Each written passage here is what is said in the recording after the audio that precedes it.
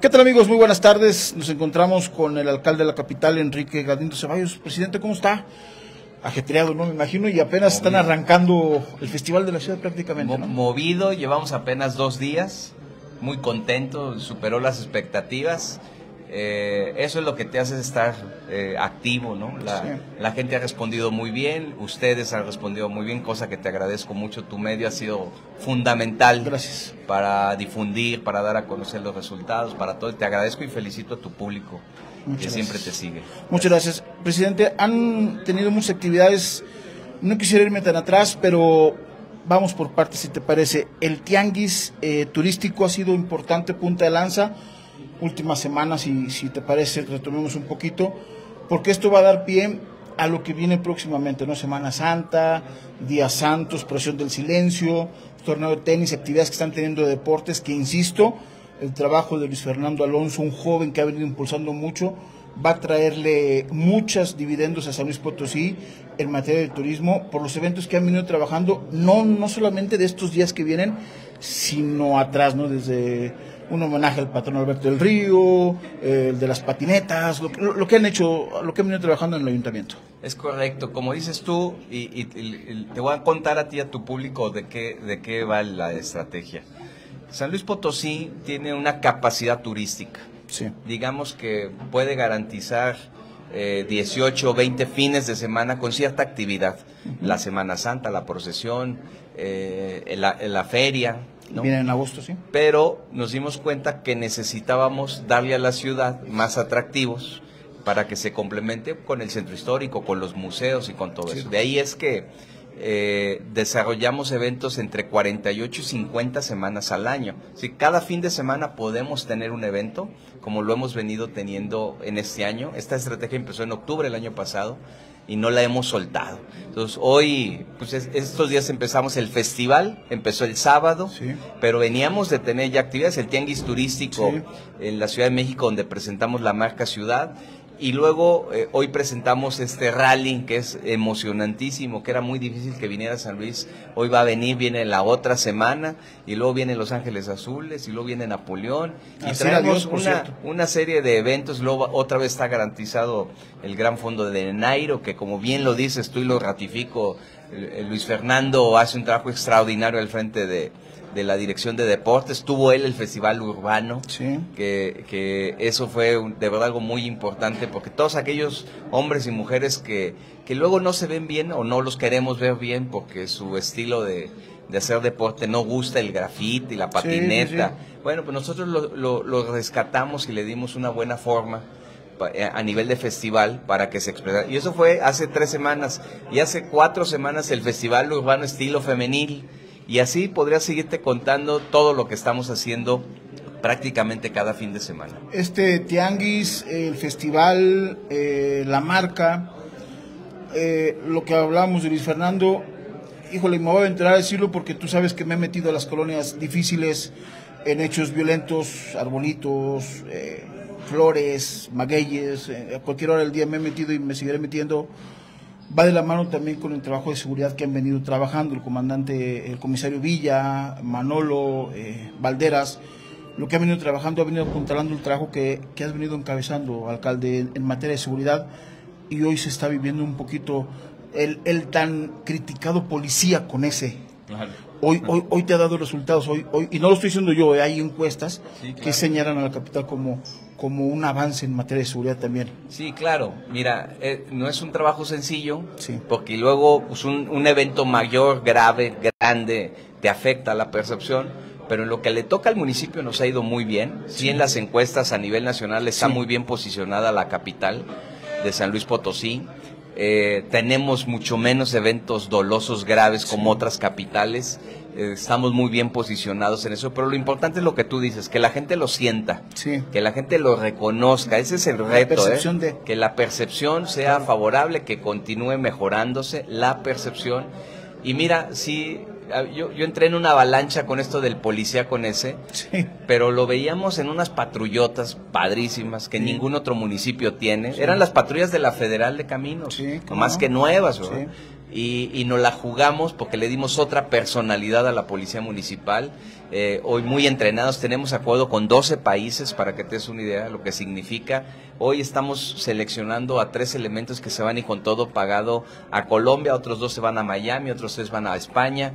Y entonces estamos cambiando también esa dinámica de los policías que pues no, no tenían ni academia, no tenían dónde, dónde entrenarse, hoy los estamos llevando a los, a los mejores foros internacionales. Yo digo, digo, y la gente me conoce, y si algo tengo no ser barbero, y he criticado, lo he criticado en mis transmisiones, hoy San Luis se ve diferente, sí han trabajado gobierno y municipio también de la mano, hoy se ve San Luis, hoy salen, no sé, Anaya, laterales de cartera 57, hoy, hoy es cuestión también de cambiar muchas veces la mentalidad, ¿no, alcalde? Ver, ver las obras que han estado haciendo tanto gobierno como municipio y hoy se ve una capital diferente.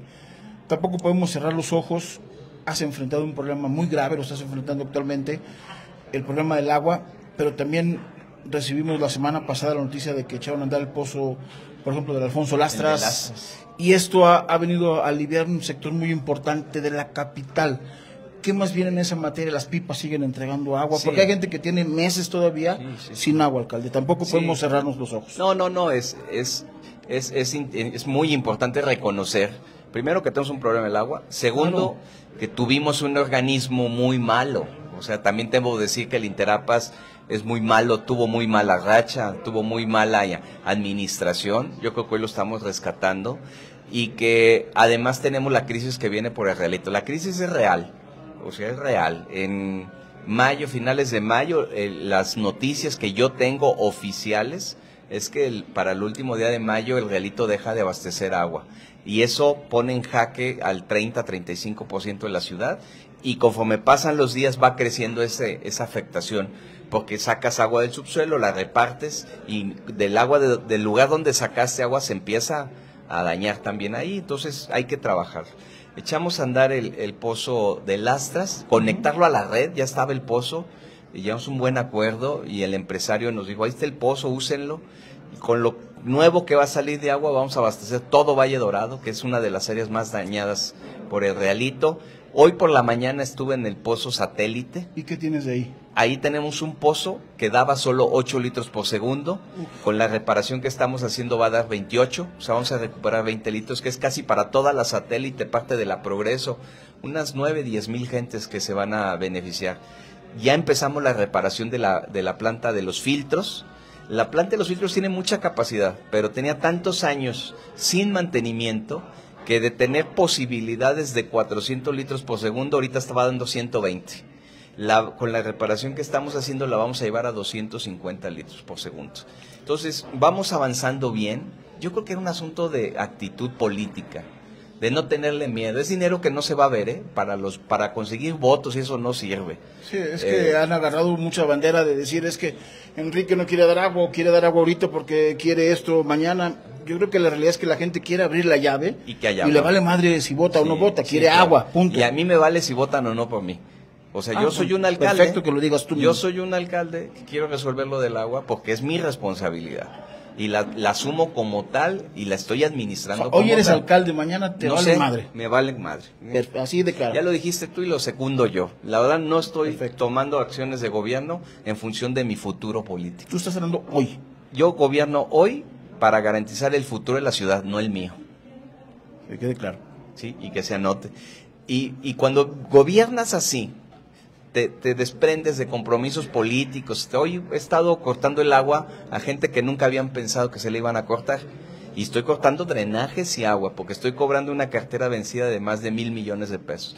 Necesito ese dinero para rescatar infraestructura hidráulica, lo necesito y yo les pido que se acerquen a Interapas, que estamos de puertas abiertas. Apídense como se apiden, Como se llámense apelliden, como se llamen. Como se llamen. Y ya tengo avances en eso y da buen resultado. Los potosinos son de buena, de buena fe. O sea, Cierto. se han acercado, dicen, oye, a mí no, no me cortes nada, yo voy, pago, hago un convenio, les damos plazo, les hacemos descuento. Pues a- a- lo que queremos es que se sumen a la solución del problema, no que sea otro problema. Fíjate, me ha acercado a gente que tiene cinco años con amparos por no querer pagar. Bueno, ya algunos de ellos ya dijeron, órale, dejo el amparo a un lado, vamos a hacer una Jalo. clase. Jalo. Bien. Como lo que pasó con el Astras. Fíjate, el de Lastras eh, es un pozo que daba 5 litros y se dio cuenta que podía dar más. El empresario me dijo, te lo doy, tú hazle lo que quieras. Hicimos una inversión de 5 millones de pesos para, para lograr 20 litros más de agua. Él tiene sus 5 litros y yo tendré 20 para, para todo Valle Qué bonito, ¿no? Así se puede trabajar. Es mucha responsabilidad. Y todos sabemos quién es el de Lastras. Claro, sí, claro, claro, claro. Y qué bueno. Fíjate que, digo, y a lo mejor no lo sabe, presidente, pero a veces lo tuteo porque tenemos amistad de hace años, de, que fuera alcalde y los dos somos de las mismas iniciales, EGC, Enrique Galindo Ceballos, Everardo González Castanedo. Hace, unos, hace unos, unas horas estuve en el Congreso del Estado y el presidente de la fracción del Partido Verde Ecologista, eh, Chiquis Fernández, eh, mencionó que te acercaste al Congreso y que presentaste un plan emergente, un plan B para enfrentar esta crisis del agua y habló muy bien de ti, precisamente de esta cartera vencida. En sus palabras dijo que pedía castigo para quien eh, defraudó a los potosinos, palabras más, palabras menos, del tema de la construcción del nefasto, ya duele la cabeza decirlo, del realito. ¿Tú te sumas a esa, a esa petición, alcalde? Eh, ¿Tú te sumarías como tal a quien defraudó, así lo dijo él, al realito? Inclusive él habla de que la Secretaría de Hacienda, de Hacienda investigue el, el fondo de dónde, de dónde fueron a parar esos recursos, porque hablaba también de que se benefició con la construcción del paso del agua a, constructores de, que se acercara el agua hacia ciertas zonas eh, con, ese, con esa finada o, maldita obra, vamos a llamarla así. ¿Tú te sumarías a, esa petición de castigo para quien, si alguien la hizo, la pague, alcalde? Sin duda, mira, yo, yo creo que sí, hay mucha falta de responsabilidad de, quien diseñó el, ducto así, de quien lo pagó. Y, y, te voy a dar una reflexión que es, es dramática. Si el ducto costó 5 mil millones de pesos, yo, yo, yo con 500 hubiéramos terminado la presa del peaje, se hubiera acondicionado, se hubiera hecho la escoba, la, la presa de las escobas, se hubiera modernizado la red de San Luis Potosí. Y con 500 millones, ¿eh? no con 5 mil. Entonces, claro, algo hay que no sabemos qué es y que sí coincido con el diputado en que sí se tiene que investigar y si hay responsabilidad se tiene que sancionar. En eso no hay vuelta de hoja. No hay vuelta de sea hoja. Sea exgobernadores, sea quien sea, él dijo. El que sea, el que sea, ¿no? incluso eh, quien toma la decisión ejecutiva a nivel gobierno y o quien construye, porque esa es otra. Hay, eh, hay otra reflexión que, que, te hago a ti y a tu público. La presa de San José tiene 100 años. Sí. Se construyó con tecnología de hace 100 y con ingeniería de hace 100 años y no ha fallado, no tiene una fisura. Esta tiene 10 años, alta tecnología, materiales diferentes, modernos, tal, y está fallando. Entonces, algo, algo hay de fondo. Y yo sí creo, yo sí soy de la filosofía que tenemos que sancionar, eh, la autoridad tiene que castigar, porque si no nos van a volver a ver la cara. En eso estoy de acuerdo con el diputado. Y no, no habrá mano negra, porque casualmente últimamente este año que están ustedes en el gobierno, ha fallado más, no, no hay algo, no habrá algo. Pues, mira, yo pensando, yo de mal pensado.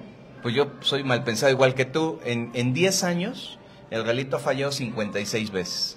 Y en los 16 años de, los 16 meses de gobierno ha fallado 26 veces. La mitad de lo que ha fallado. La mitad, claro, los últimos, en, en, en 10 años falló eh, la mitad de lo que ha fallado en mi administración. Y, este, y luego, la reparación la más larga ha sido de 28 días. Imagínate 28 días sin agua de realito, es, es mucho, muchísimo. Cuando en otras veces, en tres o cuatro días, quedaba reparado. Aquí ha sido muy lento, muy tortuoso, muy complejo.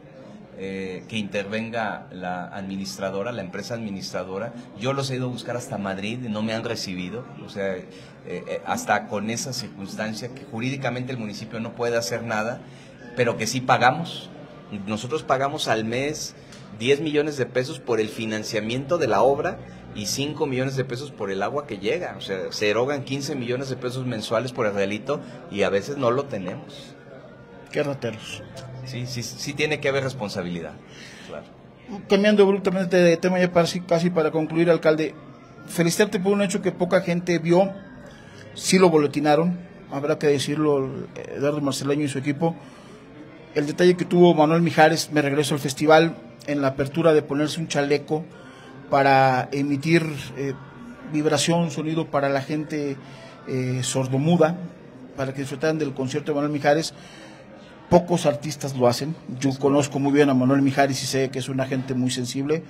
Conozco muy bien a los artistas, el nefasto este del vampiro que tocó ayer con los rockeros es nefasto este tipo, se acaba de ir, lo acabo de ver. No lo hubiera hecho, por ejemplo, él, pero Manuel Mijares sí lo hizo. Y yo te quiero felicitar por esa acción, sé que es de parte de la maestra Estela que tomó esa iniciativa. Ojalá lo sigan retomando, porque eso habla de, una, de un municipio inclusivo, inclusive, inclusivo para la gente con, con discapacidad. Eh, ojalá lo sigan haciendo para la gente con los pequeños con autismo, débiles visuales, ciegos, down. Eh, y, qué bueno, alcalde, que, que, lo tomó Manuel Mijares, sé que es una persona muy sensible, sé que ustedes también lo siguen haciendo, y ojalá lo sigan haciendo, alcalde. Y yo sí te felicito, porque hay mucha gente que a la distancia dice que si tiene un chaleco antibalas, la gente no lo conoce, y, hoy, hoy hacerlo público, lo que, lo que esta ciudad la capital lo está haciendo y, te felicito y ojalá lo sigan haciendo, alcalde. Te agradezco mucho el, que lo hayas expresado. Sí, por un lado, eh, la presidenta del DIF, mi esposa, dijo, este festival tiene que ser altamente inclusivo. Cierto. Y como buena defensora de las causas, dijo, yo quiero lugares en primera fila para, ellos. Muy bien. Eh, tanto sillas de ruedas, eh, personas con Down, eh, con sordomudos, etcétera.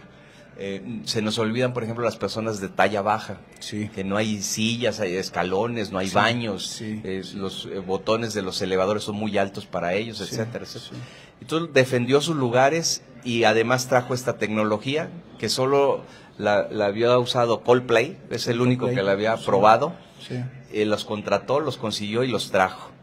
Y, y, se dio la chispa con, con Mijares por su sensibilidad, es cosa que le agradezco públicamente esa sensibilidad que tuvo acercarse con la cantante del lenguaje de señas, que eso fue espectacular, ¿no? Hasta a veces llamaba mucho la atención ella. Mijares se arropó con ella, este, la reconoció, se puso el chaleco para él sentir la vibración. Eh, y bueno, la, buena noticia también es que eh, van a estar todo el festival. O sea, los chalecos, la cantante, eh, y los que se encargan de llevar este e, esta atención a, las personas sordomudas van a estar todo el festival. Qué bueno. Entonces eso habla muy bien. Ayer estuvieron también en lo mejor del rock, como dices tú, no todos, salvo Kenny.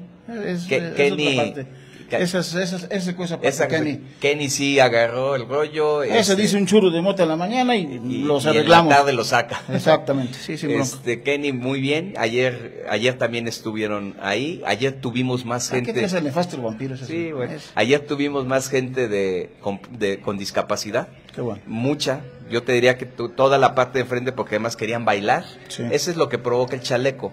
Que sientes la música y estás viendo la interpretación. Sí y entonces la persona le dan ganas de bailar. Entonces les dejamos el espacio libremente, nadie y afortunadamente el público también nadie se incomodó porque estuvieran ahí bailando, quizás obstruyendo, nadie, nadie, todo el mundo respetó muy bien lo que está sucediendo.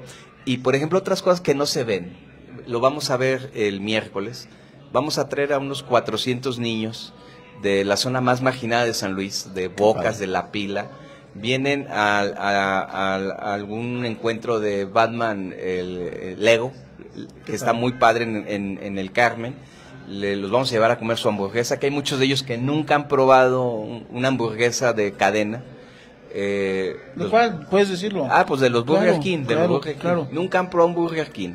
Entonces los traemos, los vamos a invitar a su Burger King, van a ir a la plaza, van a ir a un museo y luego van a ir al show en, en, en Aranzazú eh, y luego pues lo regresamos a su casa. Eso también es inclusión, porque estos niños nunca van a venir a un festival, los niños nunca no van a tener recursos, menos para una hamburguesa, menos para ver un espectáculo de talla internacional y bueno, es parte de lo que estamos haciendo de la inclusión.